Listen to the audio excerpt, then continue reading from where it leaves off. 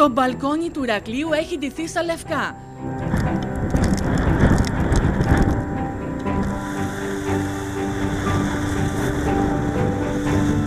Χιονόστρωση με θέατο γαλάζιο με δημότες της Ροδιάς να απολαμβάνουν το λευκό σκηνικό.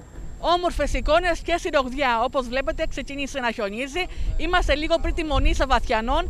Η κίνηση των οχημάτων γίνεται με πάρα πολύ μεγάλη δυσκολία. Ενώ από την πλατεία και πάνω τα οχήματα θα πρέπει να κινούνται μόνο με αλυσίδες. Ρίχνει και σταματά. Ρίχνει και σταματά. Ε, πότε ήταν η, η χειρότερη κακοκαιρία εδώ στη Ρογδιά; Το 2004. Υπάρχουν προβλήματα στην μετακινήσεις εδώ; Ε, πώς δεν υπάρχουν. Γιστράει. Έχει πάγο και γιστρά. Εντάξει, κάνει λίγο κρύο, λίγο χιονάκι, λίγο παγώνει, ναι. Λίγο παγώνει ο δρόμος, έχουμε τα μηχανήματα, κοντά στο Ηράκλειο είμαστε. Μια χαρά είμαστε. Ε, είναι τέλειος, είναι τέλειος. Χιονοπόλεμο παίξατε; Εννοείται.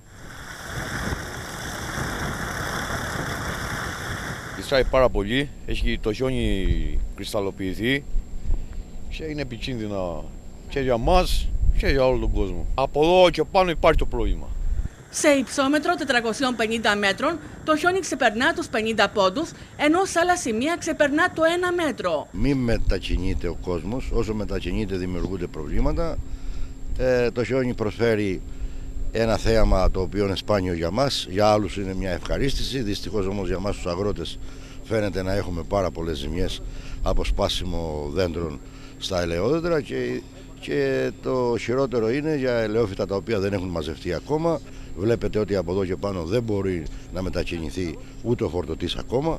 Μιλάμε για χιόνι που εδώ που είμαστε είναι 50 πόντους. Εκχιονιστικά μηχανήματα δουλεύουν ασταμάτητα, ενώ χθες στήθηκε επιχειρήση απεγκλωβισμού μιας τετραμελούς οικογένειας. Πάμε μέχρι τα σύνορα, μέχρι το Μάραθος. Χθες απεγκλωβίσαμε μια οικογένεια τετραμελή. Τους κατεβάσαμε ράκι στην Ρογδιά. Εδώ από εδώ είναι, αλλά μείνανε πάνω, δεν μπορούσαν να φύγουν. Εκεί είχε γύρω στο μισό μέτρο, 70 πόντους.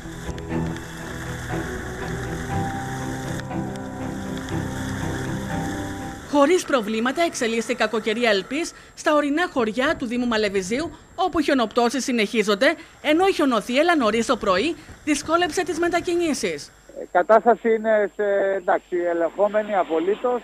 Όλοι οι δρόμοι είναι ανοιχτοί. Προσπαθούμε να ανοίξουμε και κάποιες μέρους οδικές αρτηρίες αγροτικές. Έριξε πάρα πολύ χιόνι τις πρώτες πρωινές αξιμερώματα, όλο το βράδυ σχεδόν. Και στο δρόμο από γωνιές από γωνιανό φαράγγι μέχρι τις γωνιές στο Γυλιστό είναι ανοιχτά. Δεν έχει σταματήσει η κυκλοφορία. Έλα, καλή χρονιά. Λοιπόν, έλα. Καλό χειμώνα. Στα Λευκά έχουν ντυθεί τα χωριά Μάραθος και Δαμάστα. Μόνο φοβούμαστε την παγωνιά. Αν εγκάμει, ας πούμε, αστροφεγιά, θα έχουμε πολλές ζημιές. Θα ξεραθούν και λεμονιές, πορτακαλιές και ελιές Πρώτο πράγμα είναι λευκά, είδαμε άσπρη μέρα. Και σήμερα ακόμα χιονίζει κάποιες στιγμές, ε, γύρω στις 20 πόντους έπιασε χθες. Τη Δευτέρα το απόγευμα είχαμε διακοπή ρεύματος, αυτό ήταν το πιο έτσι, φασικό που είχαμε εδώ. Το πιο δύσκολο. Δύσκολο. Συνηθισμένη χειμώνα είναι, τι θέμε τώρα. Από τη στιγμή που ο δρόμος είναι ανοιχτά, όλα καλά. Περνάμε μια χαρά εδώ στο καφενείο, τη ρακέ μας, το κρασί μας, όσο μπορούμε την παρέα μας. Η διακοπή του ρεύματος ήταν λίγο το πρόβλημα. Ήταν 20 ώρες ήταν. Παγώσαμε πολύ. Άμα σου πω τώρα η γυναίκα μου ειδικά είχε πρόβλημα. Τι πήρατε, κουβέρτες πήρατε, τι πήρατε; Εντάξει, εκεί συμπαζόμαστε ότι ήταν. Η γυναίκα μου έλεγε να ανάψω έξω βοδιά να κουβαλάω κάρβουνα μέσα, αλλά δεν γίνεται.